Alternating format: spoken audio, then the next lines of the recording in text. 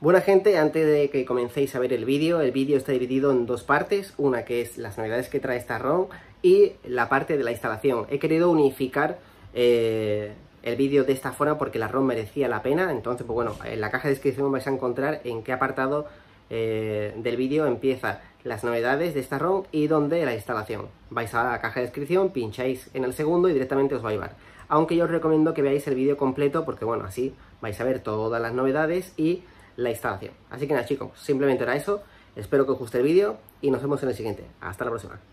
Muy buenas chicos, bienvenidos a mi canal una vez más, soy Márquez G. En este vídeo os traigo la última actualización de la ROM Xiaomi EU en su versión 28.5.20, o sea, el 28 de mayo del 2020, y que todavía sigue en fase beta.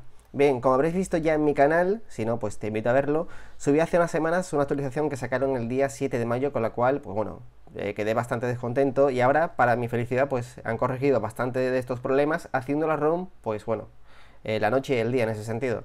Así que bueno, no me voy a enrollar, os voy a decir qué novedades trae.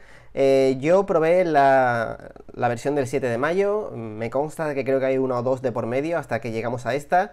Entonces también os voy a traer una serie de novedades que trae la ROM. Eh, y bueno, os traigo también una guía escrita donde vais a ver unos ejemplos de lo que me refiero, porque aquí evidentemente no voy a poder hacerlo. Y, o si no, pondré un vídeo para que lo veáis. Em, pero en la guía tenéis todas las cositas, todos los ejemplos. Así que bueno, eh, la lista eh, la ha hecho Xiaomi Adictos, así que desde aquí, pues bueno, le doy las gracias. Aunque yo he ido retocando alguna que otra cosita que he ido viendo de actualizaciones anteriores y que no puede traer al canal. Bien, cositas así a simple vista vamos a ir directamente ya a la ROM. En la cámara han añadido el modo clone, ¿vale? Si hacemos una fotografía, podemos clonarnos nosotros mismos en un mismo plano. O en un vídeo podemos hacer, hacerlo también. Yo el vídeo no lo he probado, ¿vale? Porque es bastante complicado, tengo que poner el trípode, no se puede con la cámara delantera. Pero lo probaré y os dejaré seguramente en Instagram, pues, eh, cómo sería y demás. Pero sí que he hecho el modo foto, que vais a ver un ejemplo ahora mismo en pantalla. E incluso también lo tendréis en la guía escrita. Pero bueno, mola bastante, bueno, una chorradilla, pero que, que sepáis que está ahí.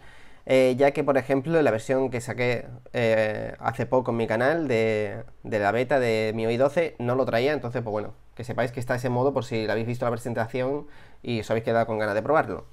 Bien, también trae para poder personalizar, eh, vamos a irnos aquí, los apartados, ¿vale? Que es que yo lo tengo todo cambiado aquí, ¿vale? Lo tengo que se abra desde abajo, los menús ahora, que también se puede personalizar esto. Y si le damos a Edit, pues podemos cambiar qué queremos poner en primer plano y qué no. Imaginaros que yo el modo nocturno no lo utilizo, pues cojo y lo retiro, ¿vale? Entonces eso está muy bien para tener aquí, pues de una forma más ligera, todos los modos de la cámara. Pero bueno.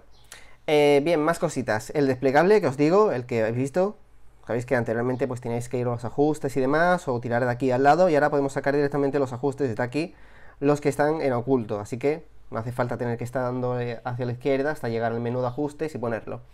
Bien, si nos vamos a los ajustes ya en sí de la cámara, vais a ver que filigrana, pues tenemos añadir ahora y la foto, la marca de agua, incluso personalizarla, la calidad de imagen igual, las acciones con el botón de volumen igual, enfocar y disparar, y hay un apartado que se llama Customize. Si le a Feature Layout, pues aquí es lo mismo que antes, ¿no? Donde podemos modificar todos los apartados. Si le damos a Camera Mode, pues podéis ponerlo como siempre lo hemos tenido, deslizando hacia el lado, o el panel, como habéis visto que yo lo he sacado antes.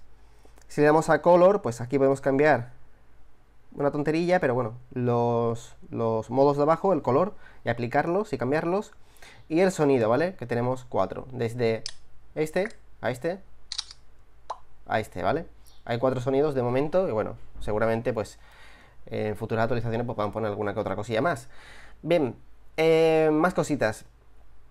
Hasta aquí la, cámara, ¿vale? Después voy a poner unos ejemplos de la galería, que también la vais a encontrar en la guía escrita. Y es que si te vas a la galería, aunque bueno, seguramente puedo hacerla aquí también, y ahora hago en directo.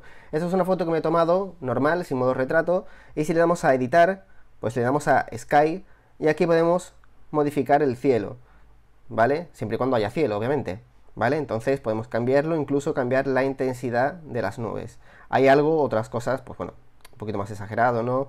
Puesta de sol, podemos cambiarlo. En algunos se nota más que en otro, ¿vale? Como por ejemplo cuando haces fotos a un paisaje, que aquí se ve brutal, le damos a editar, le damos a Sky y elegimos el tono amarillento, y es una pasada. O sea, cambia la fotografía una barbaridad. Es una cosa que está muy, muy guapa. Imaginaos que hacéis una foto bastante regulera.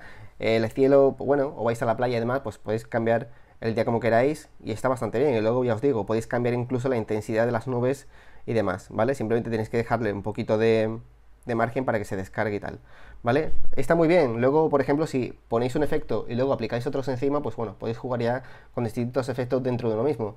Así que esto es una cosa que mola bastante. Esto lo tendréis en la, en la guía escrita por si queréis verlo con más detenimiento, más despacito y demás, y cómo se hace. Y bueno, bien, ¿qué me ha gustado esta ROM? Así a, simple vista, ¿no? Eh, ahora comentaré todas las cosas que trae. Y es que va muchísimo más rápido. Estáis viendo que el wallpaper incluso se mueve, hay super wallpaper. Y la verdad es que las animaciones, las transiciones, antes daba bastante asquete, por así decirlo, las cosas como son, ¿vale? Era muy, muy, muy lenta. Eh, no me gustaba absolutamente nada y era bastante fluida. O sea, si antes, por ejemplo, imaginaros, eh, iba a un 30%, yo ahora perfectamente le pondría un 60-70, ¿vale? Entonces va muy optimizado y es una cosa que me mola bastante. Bien, os voy a comentar los cambios, ya os digo, por la página Xiaomi Adictos, las cositas que han ido un puesto y os voy a decir, bueno, pues hay cositas también que he metido yo, cosas que he visto que, molan también, ¿no? Bien, en el apartado sistema, todo esto lo tendréis en la guía escrita, ¿vale? Eh, dice que puedes tomar una fotografía de pantalla parcial y configurar su gesto para la función, ¿vale? Presione y sostenga tres dedos de forma predeterminada, ¿vale? Entonces, tú haces la fotografía, tienes aquí la captura y también hay una opción en la que puedes recortarla. Yo hasta ahí creo que no he llegado, imagino que estará aquí en, en funciones especiales. Es que ya os digo, eh, el tema de la captura de pantalla, como suelo utilizar bastante poco, no sé si poniendo aquí captura me va a llevar directamente. Vale, realizar captura parcial, aquí. ¿Vale? Mantenga presionado los tres dedos. ¿Vale? Entonces, a ver, mantenga presionado con tres dedos. No sé si es que tienes que hacerlo y dejarlo. Aquí, a priori. Ahora. ¿Vale? Entonces ya seleccionamos el área y compartimos. Eso es una cosa que, por ejemplo, yo que he jailbreado hace poco el iPhone, tienes que instalar un tweak. Y aquí viene por defecto sin root y sin nada. O sea, mola bastante. Así que bueno, que sepáis que está esa opción. Bien, eh, nuevo asistente de sonido agregado para dispositivos basados en los Snapdragon 845. Obviamente no puedo mostrarlo porque el Mi 9T no tiene ese Snapdragon. Bien, nuevo asistente de sonido agregado para dispositivos basados en Snapdragon, ¿vale? Que lo que comentaba, nueva compatibilidad con LHDC V3, que es el tema del Bluetooth, que han cambiado los codecs para que suene mejor, pero siempre tienes que tener un dispositivo que vaya acorde a estos codecs. Así que bueno, va a ser complicado, seguramente sean los nuevos, los últimos aparatos nuevos, Bluetooth, etc. Optimización, mecanismo de pantalla anti-incendio de la línea de indicación de gestos. No sé a qué se refiere, la verdad, pero yo nunca he tenido problemas en ese sentido. El gesto de deslizar hacia arriba no funcionaba en ciertos escenarios. Ahora si tú te metes en cualquier apartado, ¿vale? No se queda pillado. Antes sí que es verdad que había que tirar de salir hacia atrás, ¿vale? Entonces aquí se ha corregido bastante en todos los menús, entiendo. Yo no he tenido ningún problema. Sí que es verdad que cuando instalé la primera beta sí tuve problemas, pero bueno. Eh, han metido super, super, fondos. Sí que es verdad que no son como los eh, super wallpapers, eh, los que venían de la Tierra, la Luna y demás, que ya sabéis que se puede instalar de forma externa, ¿vale? Con otra aplicación en XDA, pero creo que estaba, si no me equivoco, aquí fondos de... Bueno, era mis wallpaper, lo tenía puesto aquí, ¿vale? Que este es uno de ellos, ¿vale? Y se mueve, está bastante chulo. No sé si llegué a verlo, creo que estaba, si no me equivoco... Bueno, aquí también te puedes descargar bastantes, aunque algunos son estáticos. Fondos de pantalla, geometrías, aquí. Nebulosa dinámica, tenemos esta, tenemos esta también. Está bastante guay, no es la de Marte ni nada, pero yo digo, hay tres fondos que están bastante chulos. Los cambiáis y se aplican. Lo único que tenéis que esperar es que se descargue el wallpaper y luego pues ya lo ponéis. Tarda un poquito, no es nada desesperante, no sé a largo plazo cómo será el tema de la batería, si dura mucho, poco, bueno, pero bueno, que está ahí, ya veis que se ve bastante, bastante bien. Sí que es verdad que cuando desbloqueas no tiene ese efecto que nos daban los otros wallpaper, eh, pero bueno, que veáis que está ahí. Bien, eh, más cosas, pone solución, el color de la barra de estado no se manejó correctamente en el modo oscuro, ¿vale? Yo como no suelo utilizar el modo oscuro, pero sí que es verdad que estaba probándolo y se pone todo completamente en negro, o sea, está bastante bien. Si queréis lo pongo también para que veáis que no... Modo oscuro, ¿vale? Y está todo perfecto, sin problemas. Eh, mejoras en animaciones y velocidad del sistema, esto lo he puesto yo porque sí que es verdad que se nota muchísimo y claro, como yo hice la review del 7 de mayo, pues hasta aquí ha habido un gran paso, entonces he decidido ponerlo. Bien, solución, los computadores personalizados no se podían usar en el segundo espacio o cuando estaba activado el modo de batería ultra. Y esto no, tengo, no lo tengo configurado, ¿vale? Cuando ponéis aquí eh, distintos modos de todos los que traes, se ve que si cambiabas de sesión, pues eh, no funcionaban si tenías el modo eh, batería ultra. Pero bueno, ya os digo que es muy difícil que yo ponga iconos personalizados, incluso tenga el modo ultra, o sea, es cosa que a lo mejor ya es muy mijita para darte cuenta, pero bueno. Eh, bien, dice, el orden de la alterancia no era el correcto en el antiguo panel de alterancia. O sea, esto yo entiendo que también habrán hecho una traducción con el Google Translator, porque hay cosas que, bueno, así te suenan y tampoco tienes mucha idea de lo que están hablando. Pero bueno, que tampoco, si tampoco tiene una traducción así exacta y tal, que es que tampoco es que sea una importancia enorme, ¿vale? Se ha corregido, yo no vi nada eh, distinto en el tema, con el tema del panel, de la pantalla, no vi nada raro, así que bueno, a mí no me preocupa en ese sentido. Bloquear la pantalla, eh, fina personalizada, puedes poner, por ejemplo, eh, devuélveme el teléfono a tal teléfono, a tal número, ¿vale? Entonces, en ese sentido, pues no se podía y ahora pues ha corregido.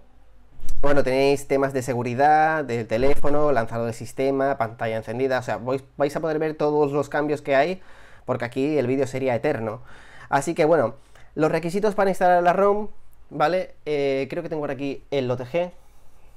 Vale, son muy sencillos, es tener el bootloader abierto, tener un TWRP custom instalado, ¿vale? Porque no vale la aplicación que trae el sistema, esta de actualizador, y descargar los archivos necesarios que hay en la guía. Yo en la guía he puesto directamente la ROM para el Mi 9T, pero os he dejado otro apartado debajo donde vais a ver que está pues la última actualización para todos los dispositivos Xiaomi que siga dando soporte Xiaomi EU. Y también os he dejado el Disable, el disable Force Encryption, ¿vale? Para que no se encripten los datos cuando pasemos de una ROM a OSP a una MIUI o viceversa. Bien, tenéis la instalación. Yo, bueno, eh, no me supone nada hacerlo, así que vamos a hacerlo aquí también. Os diré en la descripción en qué parte está eh, la instalación es un vídeo distinto, ¿vale? Porque he empezado primero con el análisis y luego con la instalación, pero bueno, quería hacerlo todo en uno porque como son actualizaciones así pequeñas y tal, tampoco es cuestión de subir un vídeo y teneros todo el día aquí entretenidos. Así que vamos a apagar el dispositivo y listo. Bien, yo en mi caso ya tengo, por ejemplo, la ROM en, en el OTG y también tengo el Disable Force Encryption. Vosotros descargáis pues la ROM para tu terminal, el Disable Force Encryption que es para todos los dispositivos y listo, ¿vale? Y si no tienes un archivo OTG, pues yo os voy a decir directamente cuándo tenéis que ponerlo. Bien, para entrar en el Oran Fox, en este caso, ¿vale? Si tenéis el TWRP, es, la combinación es la misma, es volumen alto y power. Dejamos pulsado.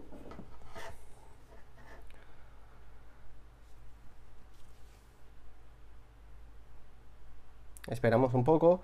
Aquí ya directamente, como yo no tenía patrón puesto en la, en la ROM, pues no me lo va a pedir, a vosotros pues, os pedirá el patrón básico. Si os vais a Manager Partition, le dais a Data, le dais a la V y le dais a Format Data, y aquí le dais a Yes, ¿vale? En el TWRP es exactamente igual, ¿vale? Simplemente lo tenéis en, en Wipes y ahí tenéis para hacer el Format Data. Bien, aquí le damos hacia atrás, hacia atrás también, le damos a Menú, le damos a Rebot y le damos a Recovery.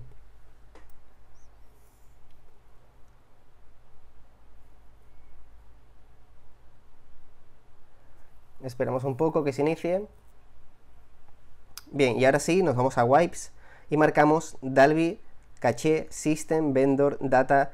Eh, yo en mi caso, Internal Storage porque no tengo absolutamente nada, pero vosotros si no queréis eh, borrar nada de la tarjeta, pues evidentemente no la marquéis. Yo sí porque no tengo absolutamente nada, es un móvil secundario y no me supone que se borre Telegram, por ejemplo, que lo tengo eh, siempre instalado. Bien, una vez hecho esto, deslizamos y ya tendríamos todos los wipes. Bien, ahora a raíz de aquí le damos a Files y buscamos la carpeta donde tengamos ubicados los, eh, los archivos. En este caso, si lo tienes en la memoria interna, será SDCAR y USBTG sería el mío. Bien, aquí me voy a ir a Xiaomi EU 2000, o sea, Xiaomi EU 12, perdón. Y aquí tenemos la ROM última, que es la que estamos, la que hemos visto anteriormente en el canal, ¿vale? Antes de que saliera la instalación, con el Oran Fox, y tenemos el Disable Force Encryption. Bien, pues pulsamos y deslizamos. Obviamente, no voy a decir lo mismo de siempre, hacer un backup de la ROM, porque esto es una cosa que ya se sabe. He subido por lo menos 40 vídeos ya diciendo que sí o sí, antes de hacer cualquier paso, tenéis que hacer un backup de vuestros datos y guardar todas las fotos en Google Fotos, en Drive o donde lo tengáis, ¿vale? Eh, la instalación suele tardar un poco, un poco bastante. Así que bueno, eh, ya os diré eh, cuando tenéis que hacer el, tragar saliva, ¿no? Por así decirlo, es decir, ah, ya puedo respirar. Bien, no lo he dicho antes, pero bueno, claro, se me ha ido la olla con tantas cosas. Es que cuando haces los wipes y deslizas, ahí, a raíz de ahí ya puedes coger y conectar el dispositivo con el cable a tu PC, a tu ordenador y traspasar la ROM y el Disable for Encryption, ¿vale? Por si no tienes un archivo OTG. Pero es que es una cosa, es que ya entre la calor y tal se te olvidan la mitad de las cosas. Y mira que tengo una guía aquí enfrente, que es la guía que os voy a poner en la caja de descripción, pero es que ya se me va completamente la olla. Bien, vamos a esperar un poco, ya os digo, suele tardar bastante, simplemente es la ROM, no tienes que instalar el firmware porque ya viene incluido la ROM. Y bueno, una vez que se termine de instalar la ROM, pues simplemente eh, ponéis el Disable Force Encryption. Bien, también podéis poner el Magix, ¿vale? Por si queréis ser usuario root. Yo en este caso no lo he puesto porque de momento no me hace falta.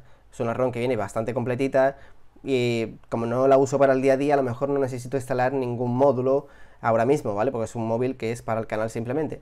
Pero que si tú quieres, por ejemplo, instalar un módulo de Magix, pues simplemente puedes coger y cuando termines de instalar el Disable Force Encryption, pues instalas Magix y listo, ¿vale? Sería ROM, eh, Disable Force Encryption y Magix. No lo he puesto en la ROM, o sea, en la guía porque lo doy por hecho, ¿vale? Que después del Disable Force Encryption podéis instalar lo que queráis, incluso un kernel. Pero en este caso, pues bueno, ya os digo, voy a hacer la instalación básica para que podáis disfrutar de la ROM y luego al final del vídeo os diré si merece la pena o no, según lo que yo he estado utilizando y demás. Bien, vamos a esperar que está a punto de terminar.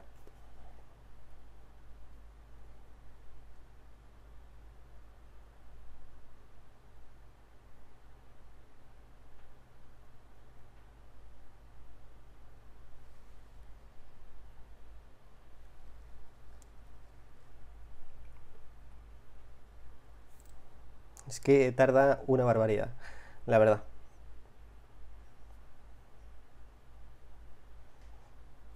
Esperamos un poco.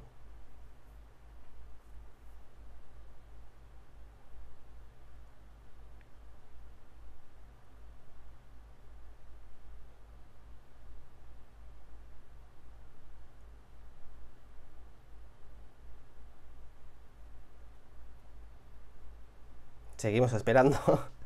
Eh, yo, como siempre digo, cortaría el vídeo, pero si sale algo mal, pues me gustaría solucionarlo pues tal y como sale, ¿vale? Si hago cortes y cortes y cortes y cortes, puedes pensar que te estoy troleando, que me salen las cosas mal y que simplemente dedico a hacer el vídeo bien para ganar visitas, suscripciones y demás. Así que prefiero ver que todo está correcto, que no me dé ningún error y luego pongo el, el móvil en la misma posición, hago un corte, os digo que ha salido todo perfecto y luego pues no es así. Así que prefiero que sea un poco más largo el vídeo y que veáis que no hay ningún tipo de problema. Lo digo también por si, por ejemplo, os marca algo en rojo, que no suele, que no suele pasar, y me digáis, oye, pues mira, me ha salido, ¿qué te digo yo? Room Program FN 00S en rojo. Entonces, ya a raíz de ahí, pues vamos viendo. Pero ya os digo, eh, no me gusta hacer cortes y menos cuando es la instalación, por si pasa cualquier cosa gorda, que sepáis cómo solucionarlo. Bien, esto está terminando ya. Vamos a esperar un poco.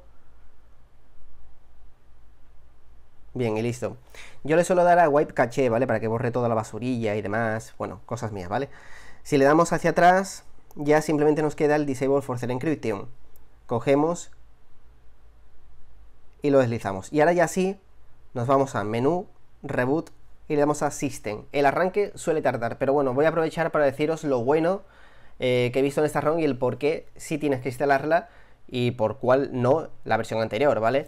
La versión anterior tenía muchísimos errores, a mi parecer, cuando yo lo estuve utilizando, duraba poco la batería, las animaciones iban muy lagueadas, la verdad es que la experiencia fue malísima. Eh, no tiene nada que ver con mi 11, que ya está súper pulida, a esta, que están tirando de una ROM beta y no ha salido todavía la estable.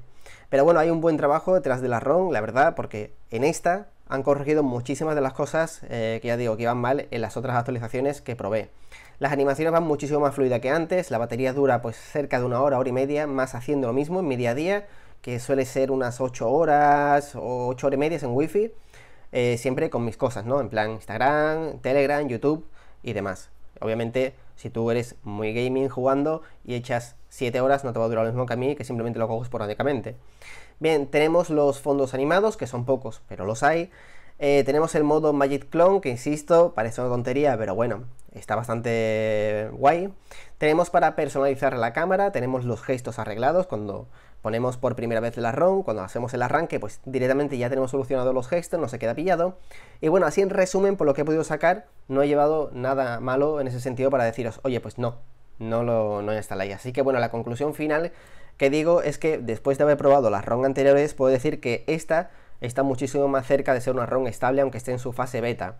Cuando salga la versión, eh, ahora a finales de junio, la, global estable, seguramente cojan ya esa base que está muy pulida, le metan todas las cosas que ellos tienen y salga una ROM perfecta. O sea, no hay dudas, te puedes instalar una Xiaomi Mi, eh, Mi 11 y vas a ver cómo vas, pues imagínate la 12 con mejoras, muchísimas animaciones, super wallpaper, eh, modos de la cámara nuevos, o sea, es una pasada. Así que ya digo, eh, se nota que va muchísimo más fluida. La batería hace sus ciclos normales de batería y debería, como, o sea, debería ir como va. En ese sentido, va súper bien, va súper fina. Eh, yo lo estoy utilizando. Es más, he notado una cosa, no sé si es porque, claro, me pego mucho tiempo utilizando, por ejemplo, el iPhone.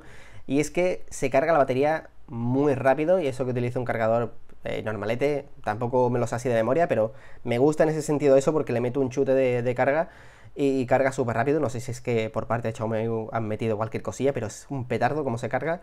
Y, bueno, ya os digo, estaba, eh, creo que eran las 5 de la tarde y iba a hacer el vídeo a esa hora y cuando he visto digo, anda, me queda un 15%. He echado dos partidas a Warzone de Call of Duty en, PlayStation 4 y ya os digo, nada, en 0, lo he tenido eh, cargado y por eso estoy haciendo el vídeo, que son cerca de las 6 y cuarto. O sea, ya os digo que la ROM no digo simplemente por esto, porque eso será una cosa del teléfono, ¿vale? Pero que, que ya en sí la ROM va muy bien y, lo recomiendo al 100%, va muy muy bien. Sí que es verdad que no es la ROM definitiva, la última versión, pero sí que es verdad que para como está ahora y como era antes, hay un mundo y bueno, os lo recomiendo sí o sí. Bien, me habéis preguntado el por qué también no utilizo la Revos MIUI 12. Cuando la probé en su día, la instalación era un poquito complicada, ahora no sé cómo será, pero había que hacer algunas movidas, entonces bueno, ya era quería algo sencillo, mi UI 12, ya sea por la oficial o sea por Xiaomi EU, instalarla sin más. No sé cómo es ahora. Seguramente si vea que la instalación es bastante simplona, pues bueno, cojo, hago un vídeo, lo subo y hago un análisis. Y bueno, pues simplemente eso, a ver si carga mm, el, la pantalla de bienvenida, que suele tardar bastante. Aquí no se aprecia porque tengo el foco aquí arriba, pero eh, se ve la palabra de MIUI muy fuerte de brillo y luego se atenúa y ya pues te pide que metas la contraseña del wifi, que actives el terminal, etcétera, etcétera, etcétera. Así que bueno chicos, eh, a ver si termina de cargar ya la pantalla de venida para que veáis que todo ha salido bien.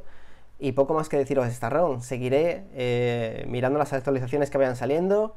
Eh, y bueno, pues cuando vea que haya un salto, por ejemplo, no todas, pero cuando vea que haya un salto cualitativo entre una y otra, pues evidentemente la traeré, ¿vale? Como este que trae bastantes novedades.